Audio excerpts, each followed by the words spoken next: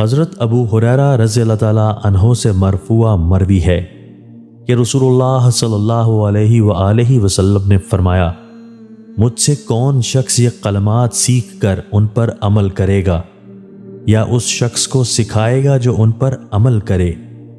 अबू हुरैरा रज़ी अल्लाह ने कहा ए अल्लाह के रसूल, मैं, आप सल्लल्लाहु अलैहि वसल्लम ने मेरा हाथ पकड़ा और पाँच चीज़ें गिनवाईं। फरमाया, महारम, हराम कामों से बचो, तुम इंतहाई इबादत गुजार बन जाओगे। अल्लाह ताला ने तुम्हारे लिए जो मुकद्दर कर दिया, उस पर राज़ी हो जाओ। तुम सबसे ज़्यादा गनी हो जाओगे।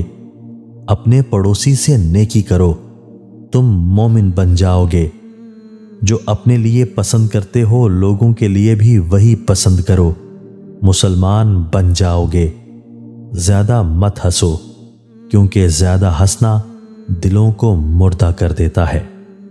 हज़रत अनस रज़ी अल्लाह से मरफुआ मरवी है कि जिस शख्स का मकसद आखरत की बेहतरी हो, अल्लाह ताला उसके दिल में गना रख देता है, उसके बिखरे हुए काम समेट देता है और दुनिया जलील होकर उसके पास आती है। और जिस शख्स का मकसद सिर्फ़ दुनिया कमाना हो अल्लाह ताला उसकी आँखों के दरमियान मोहताजी रख देता है। उसके काम बखेर देता है और दुनिया से उसे उतनी ही मिलती है जितना उसका मुकद्दर है।